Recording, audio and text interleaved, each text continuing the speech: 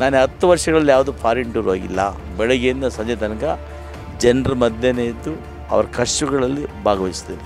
ಒಬ್ಬ ರೈತ ಹತ್ರ ಟೀ ಕುಡಿದಿಲ್ಲ ಸೊ ಇನ್ನು ಐದು ವರ್ಷದ ಕನ್ಸೇನ್ ಸರ್? ಜನಕ್ಕೆ ಏನು ಮಾಡ್ತೀರಾ ಇನ್ನು ಐದು ವರ್ಷದ? ಬಂಗಾರ ಪ್ರದೇಶದ ಯಾವುದೇ ಫೈಲ್ ಹೋದರೂ ಕೂಡ ಅದನ್ನೆಲ್ಲರೂ ಡಿಲೇ ಮಾಡ್ತಾ ಸ್ಟಾರ್ಟಿಸ್ ಮಾಡಿಕೊಂಡು. ಬಿ ಜೆ ಪಿ ಸರ್ಕಾರ ಬಂದ ಮೇಲೆ ಒಂದು ಕೊರೋನಾ ಬಂತು.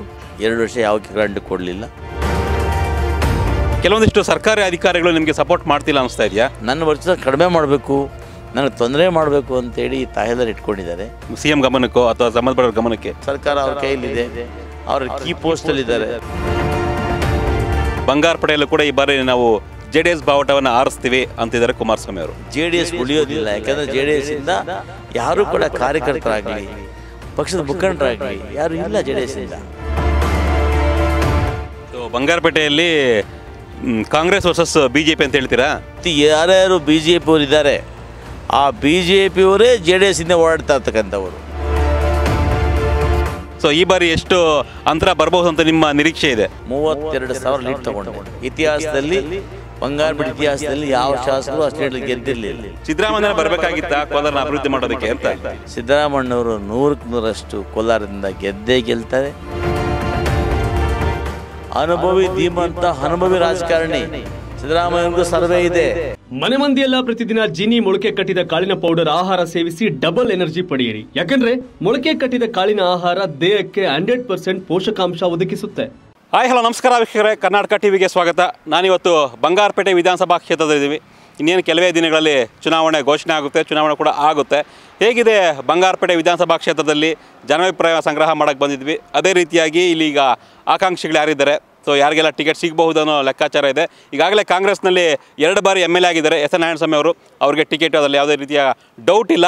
ಹ್ಯಾಟ್ರಿಕ್ ಗೆಲುವು ಸಾಧಿಸೋದಕ್ಕೆ ಎಲ್ಲ ರೀತಿಯ ತಯಾರಿಯನ್ನು ಮಾಡ್ಕೊಳ್ತಾ ಇದ್ದಾರೆ. ಜೆ ಡಿ ಎಸ್ಸಿಂದ ಈಗಾಗಲೇ ಅಭ್ಯರ್ಥಿ ಘೋಷಣೆ ಆಗಿದೆ. ಮಲೇಶ್ ಬಾಬು. ಬಿ ಜೆ ಪಿಯಿಂದ ಯಾರು ಆಕಾಂಕ್ಷಿ ಆಗ್ತಾರೆ ಅನ್ನೋದನ್ನ ನೋಡಬೇಕು. ಈ ರೀತಿಯಾಗಿ ಪೈಪೋಟಿ ಆಗ್ತಿದೆ. ಇದು ಕಾಂಗ್ರೆಸ್ ಮತ್ತು ಜೆ ಡಿ ಎಸ್ ನಡುವಿನ ಪೈಪೋಟಿ ಜೊತೆಗೆ ಬಿ ಜೆ ಪಿಯಿಂದಲೂ ಕೂಡ ಸ್ಪರ್ಧೆ ನೋಡಿಕೊಂಡು ಯಾರು ಅಭ್ಯರ್ಥಿಯನ್ನು ನೋಡಿಕೊಂಡು ಪೈಪೋಟಿ ಎದುರಾಗಬಹುದು. ಸದ್ಯಕ್ಕೆ ನಮ್ಮ ಜೊತೆ ಎಸ್ ಎನ್ ನಾರಾಯಣಸ್ವಾಮಿ ಅವರು ಇದ್ದಾರೆ ಆ, ಹಾಲಿ ಶಾಸಕರು ಕಾಂಗ್ರೆಸ್ನ ನೆಕ್ಸ್ಟ್ ಅಭ್ಯರ್ಥಿಯವರು ಅವ್ರ ಜೊತೆ ಮಾತನಾಡೋಣ ಹೇಗಿದೆ ಆ, ಕ್ಷೇತ್ರ ಏನಾಗ್ತಿದೆ ಚುನಾವಣೆಯಲ್ಲಿ? ಸೊ ಕಳೆದ ಹತ್ತು ವರ್ಷದಲ್ಲಿ ಅವರು ಎಂ ಎಲ್ ಎ ಆಗಿದ್ದಾರೆ. ಏನೆಲ್ಲ ಮಾಡಿದ್ದಾರೆ ಕಾನ್ಸ್ಟಿಟ್ಯೂನ್ಸಿಯಲ್ಲಿ ಬನ್ನಿ ಮಾತನಾಡೋಣ. ಸರ್ ನಮಸ್ಕಾರ. ನಮಸ್ತೆ. ಸರ್ ಎಲೆಕ್ಷನ್ ಬರ್ತಾ ಇದೆ. ಸೊ ಫುಲ್ ರೌಂಡ್ ಹೊಡಿತಿದ್ದಾರೆ ಕಾನ್ಸ್ಟಿಟ್ಯೂನ್ಸಿಯಲ್ಲಿ ಮುನ್ನೂರು ಎಪ್ಪತ್ತಳ್ಳಿನ ಎಷ್ಟು ಹಳ್ಳಿ ಇದೆ ಸರ್? ಮುನ್ನೂರ ಎಪ್ಪತ್ತಳ್ಳಿ ಇದೆ. ಎಲ್ಲ ಹಳ್ಳಿಗಳ ಹೆಸರು ಹೇಳ್ತಿದ್ದೀರಾ? ಎಲ್ಲ ಹಳ್ಳಿ ಕಡೆ ಹೋಗ್ತಾ ಇದ್ದೀರಾ? ಸೊ ಹೆಂಗಿದೆ ಸರ್ ಚುನಾವಣೆ? ಚುನಾವಣೆ ನನಗೇನು ಸಮಸ್ಯೆ ಇಲ್ಲ ಅಂತ ಅನಿಸ್ತದೆ. ಏನು ಕಾರಣ ಅಂದರೆ ಹತ್ತು ವರ್ಷಗಳಿಂದ ಈ ಕಾನ್ಸ್ಟೆನ್ಸಿಲಿ ಕುಡಿಯೋ ನೀರಿನ ಸಮಸ್ಯೆ, ರಸ್ತೆಗಳಿರಲಿಲ್ಲ, ಯಾವ ಗ್ರಾಮದಲ್ಲೂ ಕೂಡ ಒಂದು ಐಮಾಸ್ ಇರಲಿಲ್ಲ, ಆರ್ ಒ ಪ್ಲ್ಯಾಂಟ್ ಇರಲಿಲ್ಲ ಕಾನೂನಿನ ರಸ್ತೆಗಳಿರಲಿಲ್ಲ.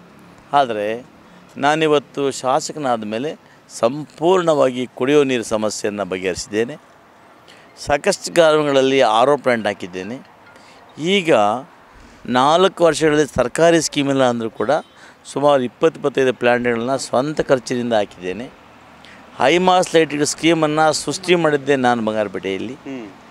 ಅದಾದ ನಂತರ ಎಲ್ಲ ಗ್ರಾಮಗಳಲ್ಲೂ ಕೂಡ ಇವತ್ತು ಸಿಮೆಂಟ್ ರಸ್ತೆಗಳಾಗಿದೆ ಗ್ರಾಮ ಸಂಪರ್ಕ ರಸ್ತೆಗಳಾಗಿದೆ. ಕೋಲಾರ ರಸ್ತೆ ಆಗ್ಬೋದು ಬೇತ್ಮಂಗ್ಲ ರಸ್ತೆ ಕೋಲಾರ ರಸ್ತೆ ಕೆ ಜಿ ಎಫ್ ರಸ್ತೆ ಬೂದಿಕೋಟೆ ರಸ್ತೆ ಕಾಮಸಮುದ್ರ ರಸ್ತೆ ಅರಟಿ ರಸ್ತೆ ಸೂಲಿಕೊಂಡ ರಸ್ತೆ ಈ ಎಲ್ಲ ರಸ್ತೆಗಳನ್ನು ಕೂಡ ನನ್ನ ಕಾಲಾವಧಿಯಲ್ಲಿ ಎರಡೆರಡು ಬಾರಿ ಮಾಡಿದ್ದೇನೆ. ಇವತ್ತು ಕೂಡ ಸುಮಾರು ಇಪ್ಪತ್ತು ಕೋಟಿ ರೂಪಾಯಿ ವೆಚ್ಚದಲ್ಲಿ ರಸ್ತೆ ಕಾಮಗಾರಿಗಳು ಪ್ರಗತಿಯಲ್ಲಿದ್ದಾವೆ. ಪ್ರತಿ ಗ್ರಾಮದಲ್ಲೂ ಕೂಡ, ಆಮೇಲೆ ವಿಶೇಷವಾಗಿ ಬಂಗಾರಪೇಟೆ ನಗರದಲ್ಲಿ ಡಬಲ್ ರಸ್ತೆ ಆಗ್ಬೋದು, ಆಸ್ಪತ್ರೆ ಆಗ್ಬೋದು, ಟ್ರೀ ಪಾರ್ಕ್ ಆಗ್ಬೋದು ಪಟ್ಟಾಭಿಷೇಕೋದ್ಯಾನ ಪಾರ್ಕ್ ಆಗ್ಬೋದು, ಕೆರೆ, ದೊಡ್ಡ ಕೆರೆಯಲ್ಲಿ ವಾಕಿಂಗ್ ಟ್ರ್ಯಾಕ್ ಆಗ್ಬೋದು, ಅದಾದ ನಂತರ ನಿಮಗೆ ರಂಗಮಂದಿರ ಆಗ್ಬೋದು, ಇಂಡೋರ್ ಸ್ಟೇಡಿಯಂ ಆಗ್ಬೋದು, police station, general hostel, B C M hostel, ಆದರ್ಶ ಶಾಲೆ ಕಿತ್ತೂರಾಣಿ ಚೆನ್ನಮ್ಮ ಶಾಲೆ, ಮುರಾರಿ ದೇಸಾಯಿ ಶಾಲೆ, ಆಮೇಲೆ ದೇವರಾಜು ಶಾಲೆ, ನ್ಯಾಯಾಲಯ ಸಂಕೀರ್ಣ, ರೈಲ್ವೆ, ನಿಮ್ಮ ಕಿಬುಡಿಸ್ತಳಿ ರೈಲ್ವೆ ಬ್ರಿಡ್ಜು, ಈ ಥರ ಮಹತ್ತರವಾದ ಅನೇಕ ಕೆಲಸಗಳನ್ನು ನನ್ನ ಕಾಲಾವಧಿಯಲ್ಲಿ ಮಾಡಿದಂಥ ಒಂದು ಸಂತೋಷ ನನಗಿದೆ. ಆಮೇಲೆ ಅದರೊಟ್ಟಿಗೆ ನಾನು ಇಲ್ಲೇ ಇರ್ತಕ್ಕಂಥವನು, ಸ್ಥಳೀಯ ಇರ್ತಕ್ಕಂಥವನು, ಕ್ಷೇತ್ರದ ಮುನ್ನೂರ ಅರವತ್ತೈದು ದಿವಸ ಕೂಡ ಅಸೆಂಬ್ಲಿ ನಡೆಯೋ ಸಮಯ ಬಿಟ್ಟರೆ ಅದು ಅಸೆಂಬ್ಲಿ ನಡೆಯುವಾಗ ಕೂಡ ಬೆಂಗಳೂರಲ್ಲಿ ನಡೆದರೆ ಬೆಳಗ್ಗೆ ಹೋಗಿ ಸಂಜೆ ವಾಪಸ್ ಬರ್ತೀನಿ. ಅದನ್ನು ಬೆಳಗಾಮಲ್ಲಿ ಅಸೆಂಬ್ಲಿ ನಡೆಯೋ ಸಮಯ ಬಿಟ್ಟರೆ ನಾನು ಯಾವುದೇ ಸಮಯದಲ್ಲಿ ಊರಿಂದ ಆಚೆ ಉಳಿಯೋದಿಲ್ಲ. ನಾನು ಹತ್ತು ವರ್ಷಗಳಲ್ಲಿ ಯಾವುದು ಫಾರಿನ್ ಟೂರ್ ಹೋಗಿಲ್ಲ. ಈ ಕ್ಷೇತ್ರವನ್ನು ಬಿಟ್ಟು ಹತ್ತು ದಿವಸಕ್ಕೆ ಮೇಲ್ಪಟ್ಟು ನಾನು ಎಲ್ಲೂ ಆಚೆ ಹೋಗಿಲ್ಲ. ಜನರ ಮಧ್ಯೆನೇ ಇರ್ತೀನಿ. ಬೆಳಗ್ಗೆಯಿಂದ ಸಂಜೆ ತನಕ ಜನರ ಮಧ್ಯೆನೇ ಇದ್ದು ಅವ್ರ ಕಷ್ಟಗಳಲ್ಲಿ ಭಾಗವಹಿಸ್ತೇನೆ. ಇದಕ್ಕೇನಪ್ಪ ತಾಜಾ ಉದಾಹರಣೆ ಅಂದರೆ, ನಾನು ನಾಲ್ಕು ಬಾರಿ ಪುರಸಭೆ ಸದಸ್ಯನಾಗಿದ್ದು, ತದನಂತರ ಅಧ್ಯಕ್ಷನ ಕೆಲಸ ಮಾಡಿದ್ದೇನೆ. ಅಧ್ಯಕ್ಷನ ಆದ ನಂತರನೇ ಹತ್ತು ವರ್ಷ ಶಾಸನ ಕೆಲಸ ಮಾಡಿದ್ದೇನೆ. ಸುಮಾರು ಇಪ್ಪತ್ತೈದು ವರ್ಷಗಳಿಂದ ಪುರಸಭೆ ನನ್ನ ಕಂಟ್ರೋಲಲ್ಲೇ ಇದೆ. ಇವತ್ತು ಕೂಡ ನಮ್ಮ ಅಧ್ಯಕ್ಷರಲ್ಲಿದ್ದಾರೆ. ಇವತ್ತು ನನ್ನ ಮನೆ ಚುನಾವಣೆಯಲ್ಲಿ ಇಪ್ಪತ್ತ ಏಳು ಸೀಟಿಗೆ ಇಪ್ಪತ್ತ ನಾಲ್ಕು ಸೀಟು ಕಾಂಗ್ರೆಸ್ ಪಕ್ಷದವರೇ ಇದ್ದಾರೆ. ಪ್ರತಿ ಹಂತದಲ್ಲೂ ಕೂಡ, ನಗರದಲ್ಲೂ ಕೂಡ, ಪ್ರತಿ ಕಾಲೋನಿಯಲ್ಲೂ ಕೂಡ ಅಭಿವೃದ್ಧಿ ಮಾಡಿದ್ದೇವೆ.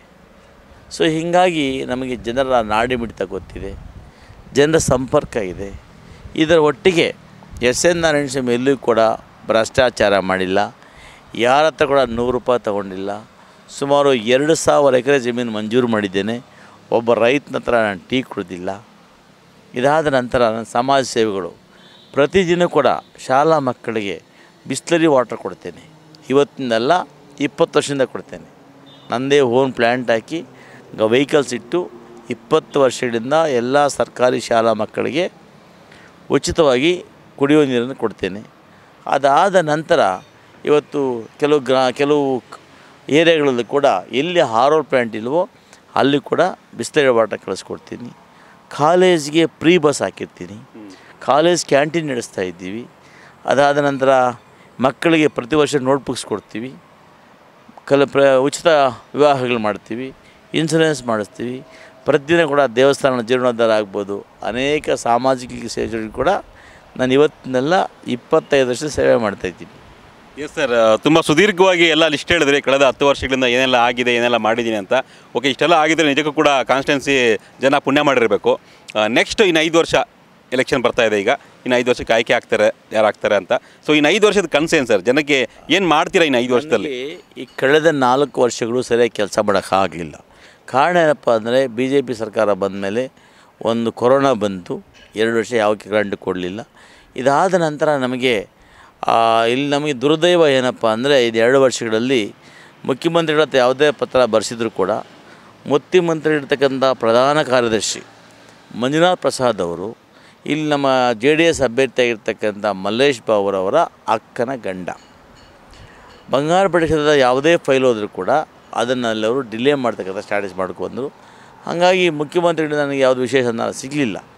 ಇಷ್ಟಾದರೂ ಕೂಡ ಕೆಲವು ಯೋಜನೆಗಳನ್ನು ನಾನು ಇವತ್ತು ಕೊಟ್ಟು ಕೆಲಸ ಮಾಡ್ತಾ ಬರ್ತಾಯಿದ್ದೀನಿ ಇನ್ನು ಮುಂದೆ ನನಗೆ ಡಬಲ್ ರಸ್ತೆಯನ್ನು, ಇದು ಬೈಪಾಸ್ ರಸ್ತೆ ಮಾಡಬೇಕು ಸ್ಮಾಲ್ಸ್ ಇಂಡಸ್ಟ್ರೀಸ್ ಮಾಡಬೇಕು, ಆಮೇಲೆ ಇವತ್ತೇನು ಅನ್ಕಂಪ್ಲೀಟ್ ಆಗಿದೆ, ರಂಗಮಂದಿರ ಪೂರ್ತಿ ಮಾಡಬೇಕು ಇಂಡೋರ್ ಸ್ಟೇಡಿಯಂ ಪೂರ್ತಿ ಮಾಡಬೇಕು, ಆ ಯುವಕರಿಗೆ ಇವತ್ತೇನು ನಾನು ಆ ಟ್ರೈನಿಂಗ್ ಸೆಂಟರ್ಸ್ ಮಾಡಿದ್ದೀನಿ, ಅವೆಲ್ಲವನ್ನು ಪೂರ್ತಿ ಮಾಡಬೇಕು.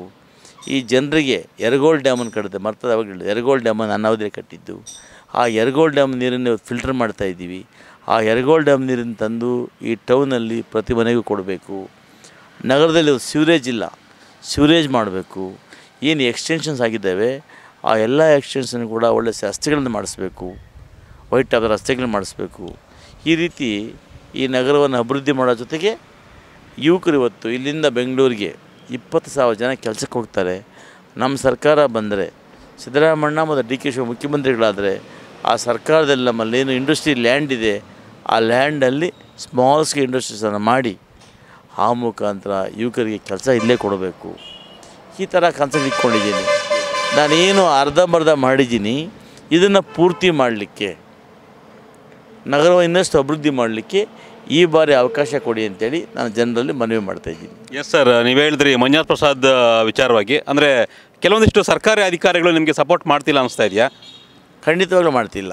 ಇಲ್ಲಿ ನೋಡಿ ಬಂಗಾರಪೇಟೆಯಲ್ಲಿ ಇವನ್ ಜಿಲ್ಲಾಧಿಕಾರಿಗಳಿಂದ ಹಿಡಿದು ಬಂಗಾರಪೇಟೆಯಲ್ಲಿ ಕೂಡ ಎಲ್ಲ ವಿಚಾರಗಳು ಕೂಡ ಮಂಜುನಾಥ್ ಪ್ರಸಾದ್ ಅವರು ಮುಖ್ಯಮಂತ್ರಿ ಕಚೇರಿಯಿಂದ ನೇರವಾಗಿ ಇಲ್ಲಿ ಹ್ಯಾಂಡಲ್ ಮಾಡ್ತಾರೆ ಇಲ್ಲಿರ್ತಕ್ಕಂಥ ತಹಸೀಲ್ದಾರ್ ಅವರು ಕೂಡ ಮಂಜುನಾಥ್ ಪ್ರಸಾದ್ ಅವರು ತಹಸೀಲ್ದಾರ್ಗೆ ಮೂರು ಬಾರಿ ವರ್ಗಾವಣೆ ಆಗಿದ್ದರೂ ಕೂಡ ಮಂಜುನಾಥ್ ಪ್ರಸಾದ್ ಅವರು ಯಾಕಂದರೆ ಮಂಜುನಾಥ್ ಪ್ರಸಾದ್ ಸಂಬಂಧನೇ ಸಂಬಂಧ ಇರ್ತಕ್ಕಂಥ ತಹಸೀಲ್ದಾರ್ ಆ ನನ್ನ ಇಲ್ಲಿ ನನ್ನ ವರ್ಷ ಕಡಿಮೆ ಮಾಡಬೇಕು ನನಗೆ ತೊಂದರೆ ಮಾಡಬೇಕು ಅಂತೇಳಿ ಈ ತಹಸೀಲ್ದಾರ್ ಇಟ್ಕೊಂಡಿದ್ದಾರೆ.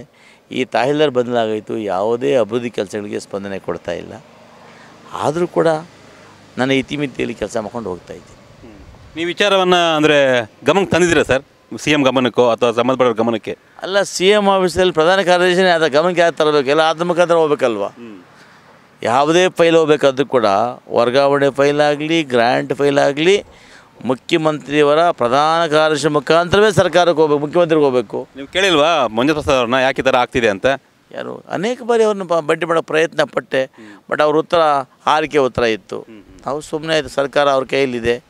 ಅವ್ರ ಕೀ ಪೋಸ್ಟಲ್ಲಿದ್ದಾರೆ ಹಂಗಾಗಿ ನಮಗೆ ಅಲ್ಲಿ ಸಹ ಅನುಕೂಲ ಆಗೋದಿಲ್ಲ ಅರ್ಥ ಆಯಿತು. ಸುಮ್ಮನೆ ಆಗಬೇಕಾಯಿತು. ಅನೇಕ ಬಾರಿ ಕೂಡ ಎಲ್ಲೇ ಕ್ವಶನ್ಸ್ ಕೇಳಿದ್ದೀನಿ. ಆ ಮಂತ್ರಿಗಳು ಆರಿಕೆ ಉತ್ತರ ಕೊಡ್ತಾರೆ. ಈ ಸರ್ಕಾರ ಬಂಡ ಸರ್ಕಾರ. ಏನು ಮಾಡಲಿಕ್ಕಾಗ್ತದೆ? ಪಂಚರತ್ನ ಯಾತ್ರೆ. ಕೋಲಾರ ಜಿಲ್ಲೆಯಿಂದನೇ ಶುರುವಾಯಿತು ಜೆ ಡಿ ಎಸ್ ಅವ್ರದ್ದು. ಸೊ ಬಂಗಾರ ಪಡೆಯಲು ಕೂಡ ಈ ಬಾರಿ ನಾವು ಜೆ ಡಿ ಎಸ್ ಬಾವುಟವನ್ನು ಆರಿಸ್ತೀವಿ ಅಂತಿದ್ದಾರೆ ಕುಮಾರಸ್ವಾಮಿ ಅವರು. ನೋಡಿ, ಒಂದು ಹೇಳ್ತೀನಿ. ಕುಮಾರಣ್ಣನಿಗೆ ಏನು ಮಾಹಿತಿ ಇದೆ ನನಗೆ ಗೊತ್ತಿಲ್ಲ. ಪಂಚರತ್ನ ಯಾಚನೆ ಮಾಡಿದಾಗ ಇಲ್ಲಿ ಇರ್ತಕ್ಕಂಥ ಪರಿಸ್ಥಿತಿ ವ್ಯವಸ್ಥೆ ಅರ್ಥ ಆಗಿರುತ್ತೆ. ಪಂಚರತ್ನ ಬಳಸೋದ್ರಲ್ಲಿ ಇಲ್ಲಿ ಎಷ್ಟು ಜನ ಇದ್ದರು ಅಂತ ಅರ್ಥ ಆಗಿರುತ್ತೆ. ಹಾಗಾಗಿ ನನ್ನ ಪ್ರಕಾರ ಕುಮಾರಣ್ಣ ಮಾಹಿತಿ ಬಗ್ಗೆ ನನಗೆ ಗೊತ್ತಿಲ್ಲ. ನನ್ನ ಪ್ರಕಾರ ಈಗ ನಮಗೆ ಎದುರಾಳಿ ಜೆ ಡಿ ಎಸ್ ಕಾಣಿಸಿದ್ರು ಕೂಡ ನಮಗೆ ಪ್ರಬಲವಾಗಿ ಸ್ಪರ್ಧೆ ಬರ್ತಕ್ಕಂಥದ್ದು ಬಿ ಜೆ ಪಿಯಿಂದನೇ ಜೆ ಡಿ ಎಸ್ ಉಳಿಯೋದಿಲ್ಲ. ಯಾಕಂದರೆ ಜೆ ಡಿ ಎಸ್ಸಿಂದ ಯಾರೂ ಕೂಡ ಕಾರ್ಯಕರ್ತರಾಗಲಿ, ಪಕ್ಷದ ಮುಖಂಡರಾಗಲಿ ಯಾರೂ ಇಲ್ಲ ಜೆ ಡಿ ಎಸ್ಸಿಂದ ಕೇವಲ ಜನ ಈಗ ಕರೆದಾಗ ಹೋಗ್ತಾರಷ್ಟೇ. ಅದೆಲ್ಲ ಓಟ ಕನ್ವರ್ಟ್ ಆಗೋದಿಲ್ಲ. ನನ್ನ ಪ್ರಕಾರ ಬಿ ಜೆ ಪಿ ಒಂದು ರಾಷ್ಟ್ರೀಯ ಪಕ್ಷ, ಆ ಪಕ್ಷ ನಮಗೆ ಎದುರಾಡಿ so ಬಂಗಾರಪೇಟೆಯಲ್ಲಿ Congress versus B J P ಅಂತ ಹೇಳ್ತೀರಾ? ಖಂಡಿತ ಸರ್. ಈಗ ಸದ್ಯಕ್ಕೆ ಅವ್ರು ಬಿ ಜೆ ಪಿ ಕ್ಯಾಂಪಿಗೆ ಹೋಗ್ದಿರೋದ್ರಿಂದ ನಮ್ಮ ವಿರೋಧ ಇರ್ತಕ್ಕಂಥ ಎಲ್ಲರೂ ಕೂಡ ಅವರಿಂದ ಹೋಗ್ತಾ ಇದಾರೆ ಅಷ್ಟೇ. ಅಲ್ಲ ನೀವು ಬಿ ಜೆ ಪಿ ಅಂತ ಹೇಳ್ತಿದ್ದೀರಾ ಬಟ್ ಬಿ ಜೆ ಪಿ ಅಭ್ಯರ್ಥಿನ ಫೈನಲ್ ಆಗಿಲ್ಲ ಇನ್ನು. ಈಗಾಗಲೇ ಜೆ ಡಿ ಎಸ್ ಅಭ್ಯರ್ಥಿ ಫೈನಲ್ ಆಗಿದೆ. ಜೆ ಡಿ ಎಸ್ ಅಭ್ಯರ್ಥಿ ಪ್ರಚಾರವನ್ನು ಕೂಡ ಶುರು ಮಾಡ್ತಿದ್ದಾರೆ ವಿತ್ ಮಾಜಿ ಸಿ ಎಂ ಕುಮಾರಸ್ವಾಮಿ ಜೊತೆ. ಸರ್ ಮಾಜಿ ಸಿ ಕುಮಾರಸ್ವಾಮಿ ಕುಮಾರಣ್ಣ ಒಂದು ಸರಿ ಬಂದು ಹೊಟ್ಟೋದ್ರೆ ಸರ್ ಅಷ್ಟೇ ಒಂದು ದಿವಸ. ಅದೇನು ಪ್ರಚಾರ ಅಲ್ಲ. ಆದರೆ ಇವತ್ತು ಯಾರ್ಯಾರು ಬಿ ಜೆ ಪಿಯವರು ಇದ್ದಾರೆ ಆ ಬಿ ಜೆ ಪಿಯವರೇ ಜೆ ಡಿ ಎಸ್ಸಿಂದ ಓಡಾಡ್ತಾ ಇರ್ತಕ್ಕಂಥವ್ರು. ಆ ಬಿ ಜೆ ಪಿಯವರು ಸ್ಟ್ರಾಂಗ್ ಕ್ಯಾಂಡಿಡೇಟ್ ಬಂದ ತಕ್ಷಣ ಅವರೆಲ್ಲ ವಾಪಸ್ ಹೋಗ್ತಾರೆ.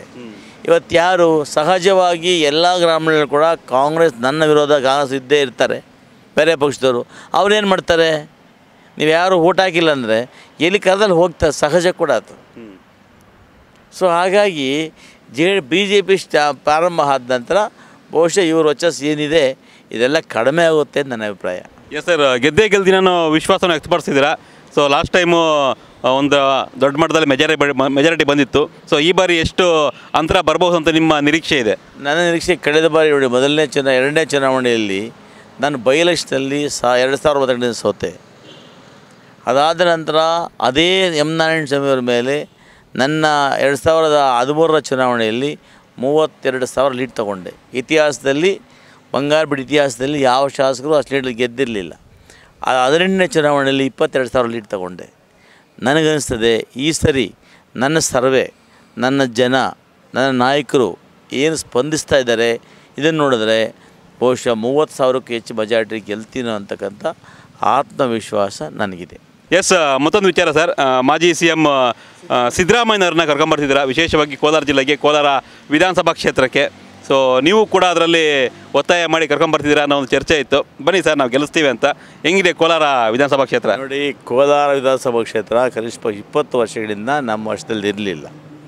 ಈಗ ಎಲ್ಲ ಕಾರ್ಯಕರ್ತರು ಕೃಷ್ಣ ಬೈರೇಗೌಡ ಆಗ್ಬೋದು, ಅನಿಲ್ ಕುಮಾರ್ ಆಗ್ಬೋದು, ಶ್ರೀನಿವಾಸ್ ಗೌಡ್ರು ಆಗ್ಬೋದು, ನಜೀರ್ ಅಹಮದ್ ಆಗ್ಬೋದು ಗೋವಿಂದ ಗೌಡ್ರು ಆಗ್ಬೋದು, ಈ ಎಲ್ಲ ಮುಖಂಡರು ಕೂಡ ಈ ಆಮೇಲೆ ನಮ್ಮ ನಂದಿನಿ ಪ್ರವೀಣ್ ಅವರಾಗ್ಬೋದು.